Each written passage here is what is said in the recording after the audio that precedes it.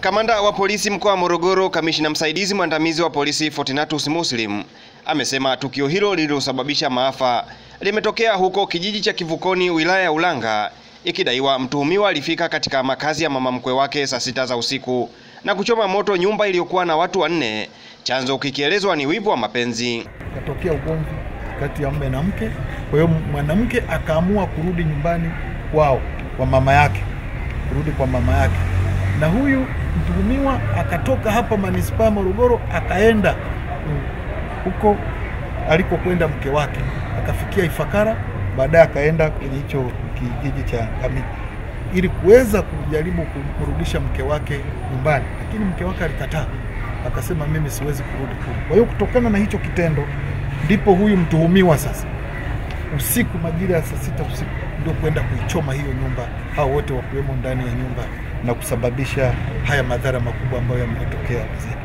Katika hatua nyingine, jeshi hilo linawashikilia jumla ya watu sita wakituhumiwa kupanga njama kutaka kuvujisha mtihani wa taifa wa kuhitimu elimu ya msingi uliofanyika hivi karibuni. Walichokifanya hawa ilikuwa ni kushawishi e, hawa wasimamizi wa mitihani e, kuhakikisha kwamba baada ya mtihani kufunguliwa e, wanachukua simu wanapiga picha yale maswali ya mtihani. Wakishapiga picha yale maswali ya mtihani, wanatoka na zile picha, anamtafuta mwalimu ambaye alikuwa ameandaliwa pale e, anayafanya yale maswali. Akishafanya yale maswali wanaweka kwenye karatasi, alafu hizo karatasi zinaingizwa darasani kwa ajili ya kuwasaidia wanafunzi. Wanadai kwamba walikuwa na wanafunzi saba ambao walikuwa wanaona kwamba uwezo wao ulikuwa ni mdogo, kwa hiyo walikuwa wanahitaji kupewa msaada wa namna hii. Watuhumiwa hao sita wanaendelea kuhojiwa kwa ajili ya taratibu nyingine za kisheria.